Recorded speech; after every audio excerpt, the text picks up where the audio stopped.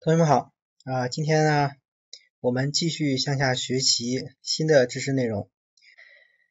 好，我们再来看一下打包成这个单个文件如何操作。我们还是在这个呃文件夹中，这个 MyExcel 这个工程下，呃，这个控制台还是这个，也不用关。我们输入命令呃 pyinstaller。然后呢，打包成单个文件，要是给它传递一个参数叫杠 f，呃，这个命令就告诉这个 pyinstall 了这个打包工具，我们后面要进行操作是打包成单个文件。OK，我们还是一样的敲回车，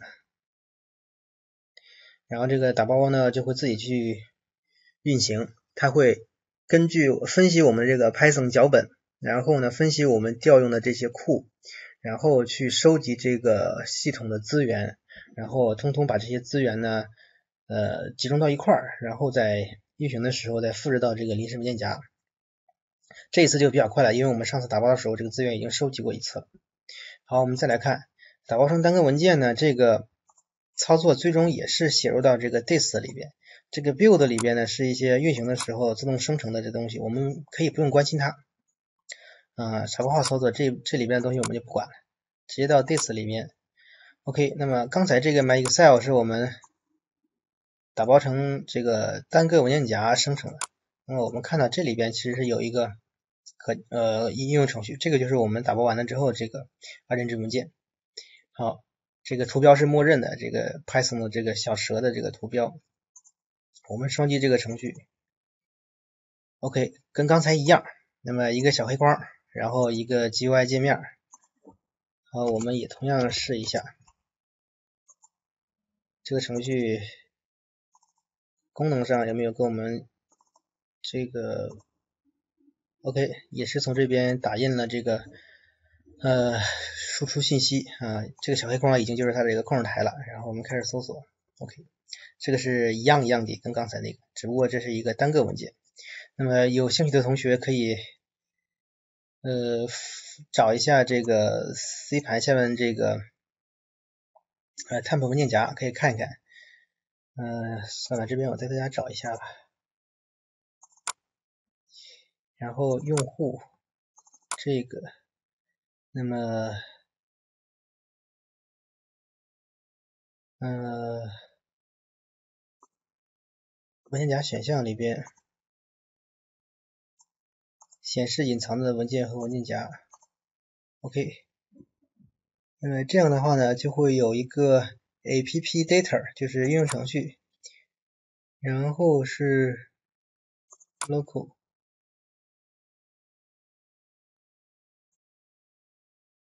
然后是 temp，OK，看到没？这个临时生成这个文件夹，下划线 mei 九四三二二。那么这个后边这个数字呢是随机生成的，啊，每次运行可能都不一样。然后呢，呃，这个文件夹我们注注意看哈，我们已经找到它了。这里边呢是刚才跟我们这个也是一样，很多 pyqt 的这个呃 python 的这个 dll，还有个这个 qt 的这些 dll。那么它是把这些我们调用的东西通通都放在这里边，然后去启动这个 python 的解释器啊，python 二七 dll，然后去运行这个脚本。那么这样就实现了这个单个文件启动。实际上呢，它只是绕了个弯子，就是说把这个 看起来像单个文件，实际上它运行的时候还是要把这个东西都解压出来，解压到这个里边，然后再运行。好的，那么我们把这个擦掉。OK，这个临时文件夹已经不见了，已经被这个引导程序删掉了。嗯，大家已经看到这个过程。好，我们再看这个。这个小黑框呢，每次都弹出来，这个很烦。这个 GUI 程序带个小黑框，实在是让人笑掉大牙。所以呢，我们就要打包成 Windows 窗口程序，不要那个小黑框。我们看一下，还是在这个文件夹下，MyExcel 这个文件夹下怎么操作？跟刚才一样，我们还是 pyinstall，那么依然是要打包成单个文件。打包成单个文件呢，这次我们不要这个。小黑框，也就是说这个控制台我们不要了，不要控制台，我们就要只是这个打包工具，把它打包成一个窗体程序，就 Windows 窗口程序，传递一个杠 W 这个参数，然后还是这个文件继续打包。嗯，好，那么稍等片刻，这个打包工具就会给我们造出来一个呃标准值二进制文件，并且运行起来没有小黑框。好，这次打包的也很快，我们看一下，在 this 的这个文件夹下。嗯，这个不用管了，这个文件呢已经被更新过了。呃，MyExcel 这个文件夹，呃，不是 MyExcel 这个可执行程序，我们双击去运行。OK，我们发现这个鼠标指针上面有个小圈圈，说明这个应用程序正在反应过程中。这个反应的过程呢，实际上就是它复制这个文件到那个里边，然后呢慢慢启动这这个一个过程。所以我们惊奇的发现，这个应用程序跟用这个 C Sharp 或者是其他语言编写的应用程序已经没有什么区别了，也不用也不再有这个小黑框了。打开之后呢，就是一个漂亮的 GUI 界面。那么我们还是验证一下它这个功能有没有什么异常。待分类。OK，也不再打印什么东西到那个黑框了，因为这是后台操作已经通通被那个杠 W 参数呃，就是那个呃小黑框已经不会再出现了。然后开始搜索，OK，该显示的都显示在这里了。那么后台的打印语句呢，已经不显示了。这呃到此为止呢，就是已经呃完成了这个打包成单个文件，并且不要这个小黑框，也就是说打包为 Windows 窗口程序。啊，我们最终 release 给客户的应该就是这个版本的，就你不要给他一个小黑框，看着很丑，然后你的 debug 呃信息都在那个黑框里边，这看着很不专业。嗯，然后呢，我们看一下这个程序呢运行的挺好，但是这个图标默认的这个实在是有点对不起观众啊，太丑了。所以呢，我们这次来看一下怎么给它换一个图标。嗯，不变，还是在这个里边。嗯，我之前做了一个这个图标，啊，打开看一下啊，对，麦子学院的这个小图标。那么我们就用这个。图标来当它的这个默认图标，嗯，刚才的命令不变，杠 F 杠 W 这些都不变，然后我们还要传递给它一个杠 I 参数，这杠 I 参数呢指定这个程序的图标所在的这个路径，然后我们粘贴，粘贴完了之后要注意啊，这个对于 Windows 来说，这个反斜杠要加两个，不然这个。容易出问题，因为它这个路径是反斜杠是转移符号，所以我们要稍微注注意一下。然后在这里边呢有一个零一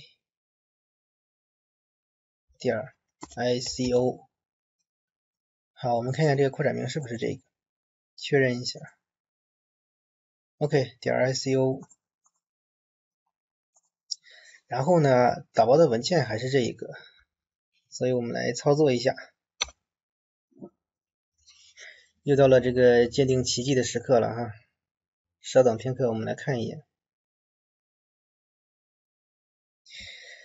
好的，OK，打包完成，我们去看一下，this 下边，OK，看到这个没有啊？我这个分辨率呃电脑屏幕比较大，可能大家看的不太清。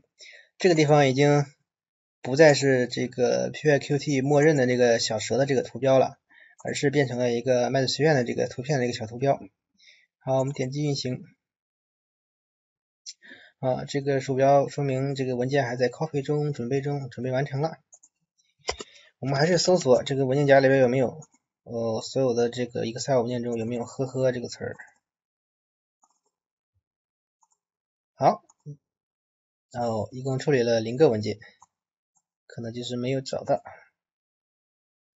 嗯，Eclipse、Python、Excel 待分类，在这里。OK，这出来一个文件，嗯，刚才文件夹的位置指定错了。好，那么到此为止呢，我们已经掌握了这个打包 Python 程序的这个全部流程。一般我们打包为这个单个文件，给它换个图标，基本上就差不多了，可以可以交给客户去用了。好，那我们来看看这个有什么注意事项呢？Py 意识到了打包程序的注意事项。嗯，这个注意事项是这样的：第一个是可以同时运行多个打包后的这个单个文件，就是我们这个文件你可以双击或者把它换个文件夹再打开，可以打包很可以打开很多个，各个程序之间不共享资源，所以呢，你同时运行多个这个打包后的程序之后呢，就会浪费一些存储空间，因为它不共享任何资源。